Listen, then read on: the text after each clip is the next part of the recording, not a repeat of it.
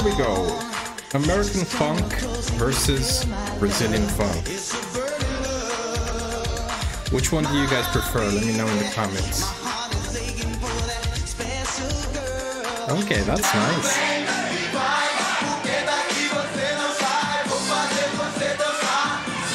Oh, you gotta dance to this. Claudinho e Buchecha.